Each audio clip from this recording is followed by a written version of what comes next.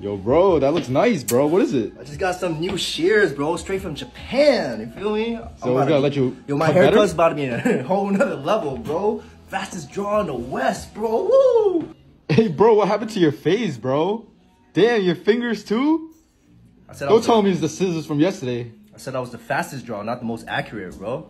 Come with some slack, dude.